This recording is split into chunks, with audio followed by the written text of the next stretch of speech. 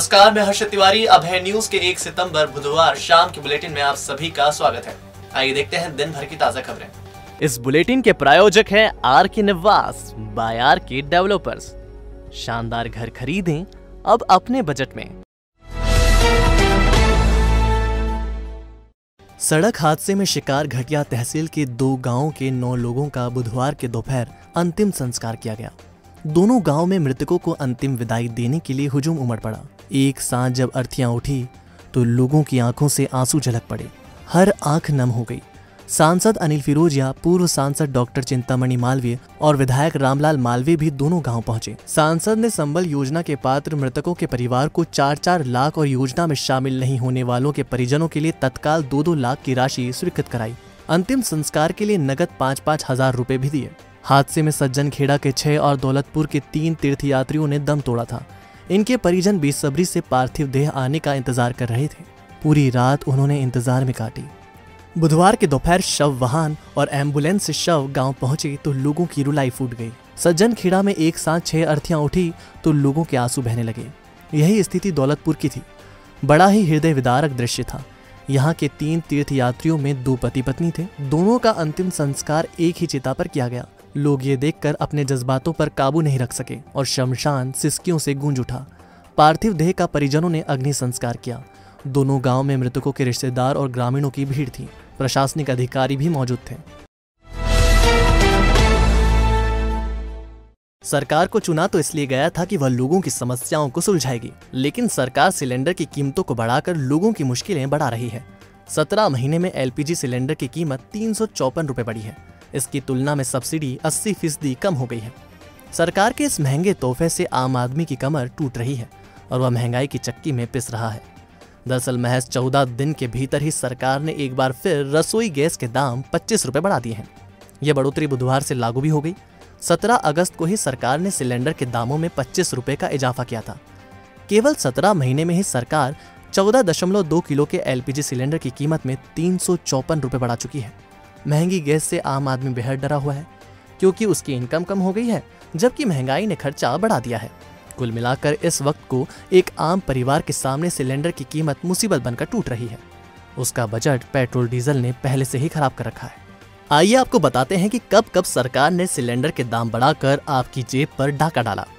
सिलेंडरों की कीमतों में बढ़ोतरी का सिलसिला मई 2020 से शुरू हुआ था। तब पाँच सौ के सिलेंडर के दाम में छप्पन रुपए का इजाफा किया गया था और इसकी कीमत तब छह रुपए हो गई थी। जून में सरकार इस कीमत को राउंड फिगर में ले आई और चार रुपए बढ़ाते हुए छह सौ दाम कर दिया। जुलाई में सरकार ने केवल दो रुपए दाम बढ़ाए और कीमत छह सौ बावन रुपए पहुँचा दी। अगस्त 2020 में सरकार की दरिया दिली कायम रही और कीमत केवल दो रुपए बढ़ी। इस तरह सिलेंडर का दाम छह सौ हो गया। 2020 के नवंबर महीने में सरकार ने कुछ तूफानी करने की कोशिश की और सिलेंडर के दाम सीधे पचास रुपए बढ़ाकर सात सौ चार रुपए पर पहुँचा दिए। दिसंबर 2020 में सरकार ने फिर झटका दिया और कीमत पचास रुपए बढ़ाते हुए सात सौ तिरपन रुपए कर दिया। जनवरी 2021 में सरकार ने आम आदमी को राहत देते हुए कीमत केवल पच्चीस रुपए बढ़ाई और दाम सात सौ उनासी रुपए पहुँचा दिया। फरवरी 2021 में सरकार ने फिर तूफानी करते हुए तीन बार में सौ रुपए कीमत बढ़ाते हुए सिलेंडर के दाम सीधे आठ सौ उनासी रुपए पर पहुँचा दिए। मार्च 2021 में केवल दस रुपए कीमत बढ़ाकर उपभोक्ताओं को राहत देते हुए सरकार ने कीमत आठ सौ पहुँचा दी। अप्रैल मई में शांत रहने के बाद सरकार ने जून से फिर से कीमतों में बढ़ोतरी का सिलसिला शुरू किया और तीन महीने में पिचहत्तर दशमलव पचास रूपए कीमत बढ़ाते हुए दाम नौ सौ चुम्वालीस रूपए पचास पैसे कर दिए। बहरहाल अच्छे दिन के वादे पर आई सरकार को लेकर आम आदमी बहुत परेशान है। उसे सिलेंडर के दामों में बढ़ोतरी का तोहफा करीब करीब हर महीने मिल रहा है। ये अलग बात है कि उसका बजट महँगाई की वजह से बिगड़ रहा है। भारत सरकार द्वारा एक जुलाई को पच्चीस रुपये की बढ़ोतरी करके आठ सौ चौरानवे रुपये पचास पैसे किए गए थे, जो कि सत्रह अगस्त में फिर पच्चीस रुपये की बढ़ोतरी की गई और उसके बाद वही सिलेंडर नौ सौ उन्नीस रुपये पचास पैसे का हो गया। आज एक सितंबर 2021 को पुनः पच्चीस रुपये की बढ़ोतरी की गई है जो कि अब घरेलू सिलेंडर उपभोक्ताओं को नौ सौ चुम्मालीस रुपये पचास पैसे में उपलब्ध होगा। क्योंकि आप एक रसोई गैस डीलर है? तो क्या आपको लगता है क्या कारण इसके पीछे आ रहा है कि दिन पे दिन जो है कि इसकी प्रति महीने इसके रेट बढ़ते जा रहे हैं? क्या आप कारण मानते हैं आपके ये भारत सरकार का पेट्रोलियम मंत्रालय तय करता है और ये क्रूड ऑयल के दाम बढ़ने, घटने से प्रभावित होते हैं। केंद्र सरकार की कृषि संबंधी नीतियों से राष्ट्रीय स्वयंसेवक संघ का अनुषांगिक संगठन भारतीय किसान संघ बेहद खफा है। किसान संघ 8 सितंबर को देश के 525 जिलों में प्रदर्शन करेगा और किसानों को लाभकारी मूल्य देने की मांग करेगा। बुधवार को प्रेम छाया परिसर में भारतीय किसान संघ ने ज़िले के निर्वाचन के साथ देश भर में होने वाले प्रदर्शन की रूपरेखा बनाई। उज्जैन ज़िले के लिए एक बार फिर दशरथ पंड्या को अध्यक्ष बनाया गया। निर्वाचन के बाद प्रदेश पदाधिकारी दिनेश पालीवाल ने मीडिया को बताया कि लागत की तुलना में किसान को लाभकारी मूल्य बेहद कम मिल रहा है। इसके चलते ही 8 सितंबर को आंदोलन किया जाएगा। प्रदेश प्रवक्ता भारत सिंह बैस ने कहा कि किसान संघ की मांगों को लगातार नजरअंदाज किया जा रहा है। हमारे प्रदर्शन का आधार किसानों को लागत के मुताबिक लाभकारी मूल्य दिलाना रहेगा। केंद्र सरकार 2022 तक किसानों की आय दुगनी करने का दावा कर रही है। लेकिन ज़मीन पर ऐसी कोई भी योजना नहीं आ रही। इसका ही विरोध करने के लिए देश के 525 जिला मुख्यालयों पर प्रदर्शन किया जाएगा। हमारा 8 सितंबर को जो कार्यक्रम है, लागत के आधार पर लाभकारी मूल्य, भारतीय किसान संघ की बहुत लंबे समय से मांग चल रही है। लगातार बढ़ता ऋण किसानों को ये दर्शाता है कि हम लागत लग रही है। बारिश की खेच की वजह से उत्पादन घटेगा मतलब कहने का ये है कि लागत ज़्यादा है उपज कम है, ऐसे में हमको लाभकारी मूल्य सरकार को देना चाहिए। उसको अभी, उसको लेकर हमने तहसील केंद्रों पर एसडीएम को ज्ञापन दिए हैं और 8 सितंबर को जो धरना प्रदर्शन हम करने वाले हैं, उसमें स्थानीय स्तर पर मुख्यमंत्री को भी ये, इस बात को लेकर ज्ञापन दिया जाएगा कि फ़सलों का सर्वे कराकर उचित मुआवजा दिया जाए और बीमा क्लेम की राशि का निर्धारण किसानों को किया जाए।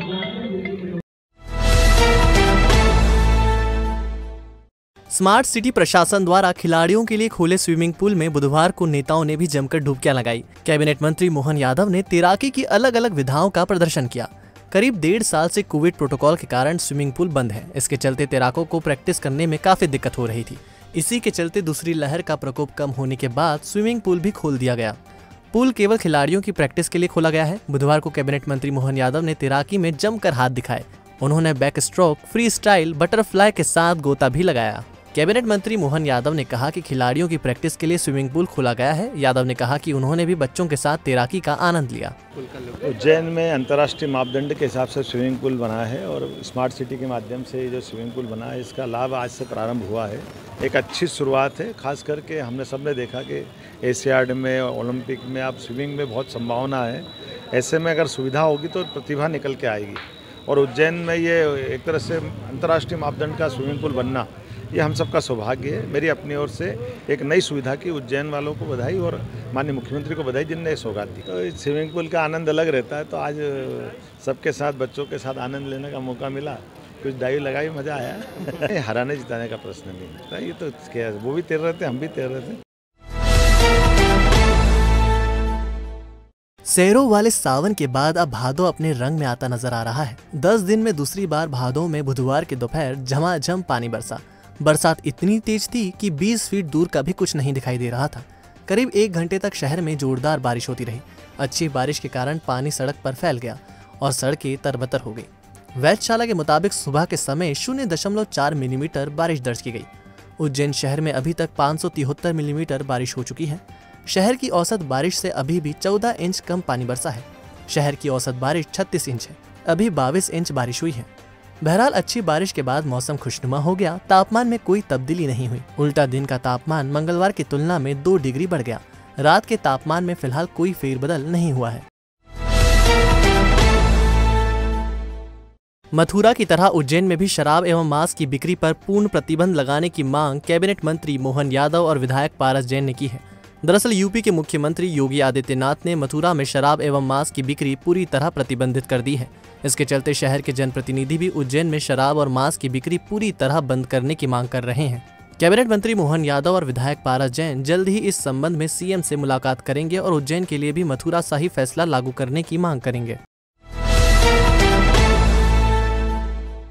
छठी से बारहवीं क्लास के लिए स्कूल बुधवार से शुरू हो गए। स्कूलों में विद्यार्थियों को सोशल डिस्टेंसिंग के साथ प्रवेश दिया गया। प्रवेश से पहले उनके शरीर के तापमान की जाँच की गई और स्कूल प्रवेश से पहले हाथ सैनिटाइज कराए। क्लासों में भी सोशल डिस्टेंसिंग रखी गई। टेबल और कुर्सियों के बीच दो से तीन फीट की दूरी रखी गई। हालाँकि विद्यालयों में उपस्थिति कम ही रही। शासकीय कन्या हायर सेकेंडरी स्कूल दशहरा मैदान के प्राचार्य अभिमन्यु व्यास ने बताया कि स्कूल में कोविड एसओपी के साथ विद्यार्थियों को प्रवेश दिया गया। प्रवेश से पहले बच्चों के शरीर के तापमान की जाँच की गई और हाथ सैनिटाइज कराए गए। ये मध्य प्रदेश शासन स्कूल शिक्षा विभाग तक दिन बंधे हुए थे, पर आज से 50 परसेंट से सभी बच्चे कक्षा छः से बारह तक विद्यालय में आ सकते हैं। इसके लिए एसओपी का पूरा पालन किया जा रहा है। एंट्री के समय बच्चों को सैनिटाइज किया जा रहा है हाथ उनके, और थर्मल गन से उनका टेम्परेचर भी चेक हो रहा है। क्लासों में भी सोशल डिस्टेंसिंग से वो बैठ रहे हैं। और सारा जो इसका एसओपी है, उसका पालन कर रहे हैं। जिला पंचायत ने सत्तावन सचिव, पाँच पंचायत समन्वय अधिकारी और दो सहायक विकास अधिकारियों के तबादले किए हैं। ये स्थानांतरण तबादला नीति के मुताबिक किए गए हैं। शासन ने 31 अगस्त तक तबादले करना तय किया था। इसी कड़ी में छह जनपद पंचायतों में पदस्थ ग्राम पंचायत सचिवों को बदला गया है। अधिकतर तबादलों में सचिव को जनपद से जनपद की ही ग्राम पंचायतों में पदस्थ किया गया है, जबकि कुछ की जनपद बदल दी गई है। आगर विधायक विपिन वानखेड़े ने बुधवार को एनएसयूआई का प्रदेश अध्यक्ष पद छोड़ दिया। विधायक बनने के बाद से वह संगठन को समय नहीं दे पा रहे थे। करीब आठ साल से वह प्रदेशाध्यक्ष पद पर थे। एनएसयूआई अध्यक्ष केवल तैतीस साल की उम्र तक ही रहा जा सकता है और वानखेड़े उम्र की इस सीमा के पार भी चले गए थे। इस्तीफा देने के बाद वानखेड़े ने कहा कि युवाओं को मौका देने के लिए उन्होंने पद छोड़ा है। मध्य प्रदेश में नए एनएसयूआई प्रदेश अध्यक्ष को लेकर प्रक्रिया प्रारंभ है। हमारे नए युवा साथियों का अवसर मिलना चाहिए। इस बात के भी मैं पूर्ण रूप से समर्थन हूँ। और इसी के चलते नए प्रदेश अध्यक्ष को लेके प्रक्रिया प्रारंभ है। इसमें कहीं कोई ऐसी बात नहीं है कि कहीं कोई नाराज़गी है या कहीं कोई शिकवा शिकायत है। सब परिवार के लोग हैं और मैं खुद चाहता हूँ आने वाले समय में हमारे किसी नए युवा साथी को एनएसओ की ज़िम्मेदारी मिलना चाहिए। ऑडिट आपत्तियों के निराकरण के लिए 8 सितंबर को बृहस्पति भवन में बैठक होगी। संभाग आयुक्त संदीप यादव इसकी अध्यक्षता करेंगे। शराब दुकानों से खरीदी करने पर अब बिल दिया जाएगा। एक सितंबर से बिल जारी करने की व्यवस्था पूरे प्रदेश में लागू कर दी गई। नई व्यवस्था से कोई भी अधिक कीमत नहीं वसूल सकेगा। अच्छा परिवार ने दिवंगत विमला बाई की स्मृति में सेवा भारती संस्था को दो कंप्यूटर दो कंप्यूटर टेबल व कुर्सी भेंट की। सीएमएचओ डॉक्टर महावीर खंडेलवाल का सेवा निवृत्ति पर सम्मान किया गया। बहुउद्देश्य स्वास्थ्य कर्मचारी संघ के संभागीय कार्यकारी अध्यक्ष एम आर मंसूरी व जिला अध्यक्ष एस पी अहिरवार ने खंडेलवाल का हार पहनाकर सम्मान किया।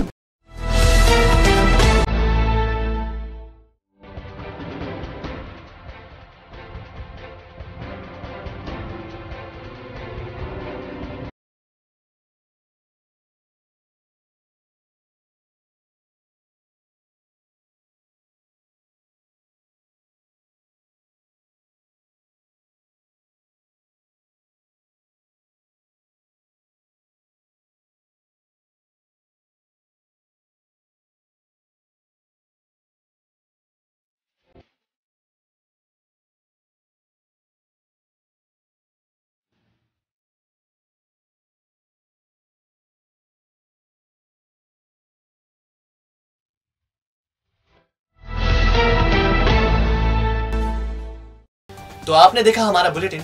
आपको हमारा बुलेटिन कैसा लगा? इसका फीडबैक कमेंट सेक्शन में ज़रूर दीजिएगा। कल फिर मिलेंगे नए बुलेटिन के साथ। नमस्कार।